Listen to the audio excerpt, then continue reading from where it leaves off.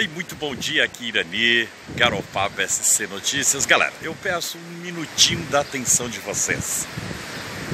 Vamos procurar não se estender nesta entrevista. Eu estou em Garopaba e o Manuel está lá em Montenegro. O Manuel e um grupo de pessoas fazem um trabalho 100% voluntário com famílias não só de Montenegro, mas também de São Sebastião do Icaí. Eu entrei nesta campanha, vocês conhecem o meu trabalho, vocês sabem da seriedade.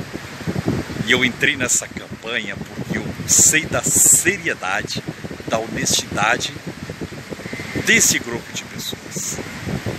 Vocês podem ter certeza que ao final da entrevista, se vocês se sentirem tocados, vocês, se vocês quiserem ajudar, vocês podem ajudar.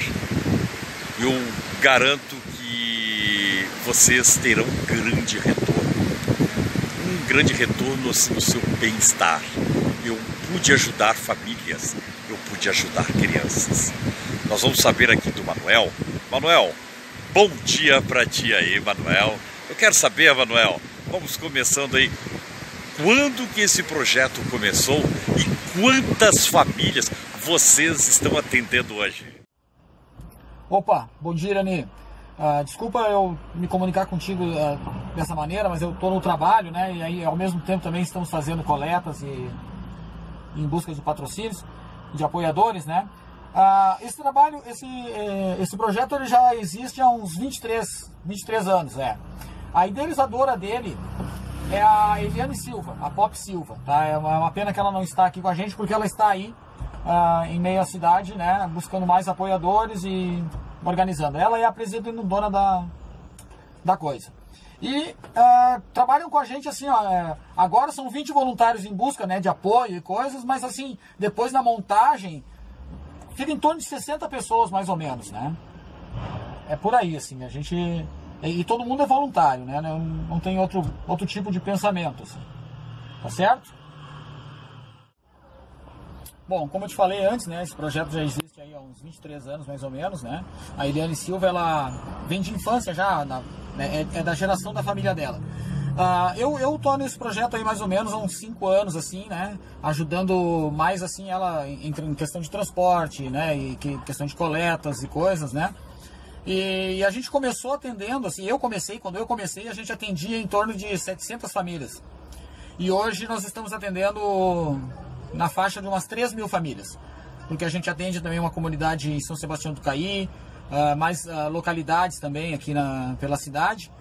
E, e, e, a fome, né, infelizmente, é uma doença crônica, né? Então, cada vez esse problema aumenta mais. Isso é um reflexo também da pandemia, né? É um reflexo da pandemia hoje, né? A doação escasseou, né? Então, ficou mais, uh, mais complicado de se receber essa doação. Então, nós estamos fazendo esse projeto um pouco maior.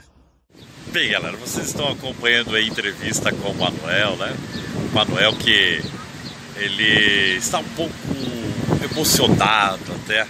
Manuel, conta um pouquinho aí dessas cartinhas, desta emoção que é fazer um trabalho desse tipo. Um trabalho se preocupando com o semelhante. Vem daí, Manuel! Bom, falando um pouquinho mais assim do trabalho, né, como é que a gente faz isso e como é que a gente sabe das necessidades, né?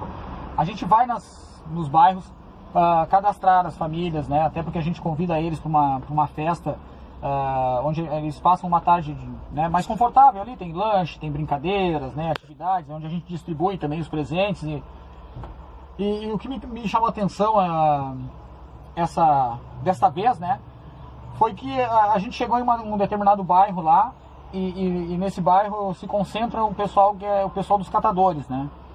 E, e chega a mais de 200 famílias, mais ou menos, com o mesmo pedido, né? Eles pediam comida, eles pediam comida, né?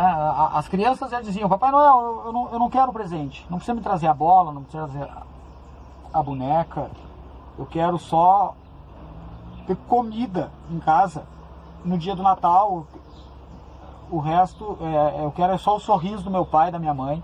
Eu vi pais pedindo isso também porque para ter a dignidade no Natal. Isso aí me marcou bastante. Foi isso que me motivou a, a fazer esse pedido assim da, da doação, né? E, e, eu falei com eles lá, eu tenho um amigo dele, um amigo meu, né, de lá, né? De, de outras, outras datas, e eu falei para ele, Maninho, o que está acontecendo? Por que, que, por que esse tipo de pedido? E ele disse, Manu, o brinquedo eu trago todo dia para casa. Porque ele traz todo dia o brinquedo no meio né, das coisas que ele cata. Nós estamos precisando de comida. A doação escasseou. Bem, galera, tá aí, né? Vocês acompanharam essa entrevista aí. Vou deixar aí o Manuel encerrando. Está já aqui na tela, né? O telefone de contato do Manuel. Vocês podem mandar um WhatsApp para ele. Aí ele vai mostrar, vai falar para vocês como vocês podem ajudar. Mas se cada um de nós ajudar com um real, dois reais, três reais, cinco, dez, vinte, cinquenta, cem, não importa. Todos juntos vamos poder somar um grande valor para ajudar essas crianças. Crianças que só querem comer. Vai contigo, Manuel. Grande abraço, muito obrigado, meu querido. Bom, então, Irani, não me alongando mais, né? Já tomei bastante o tempo do pessoal aí.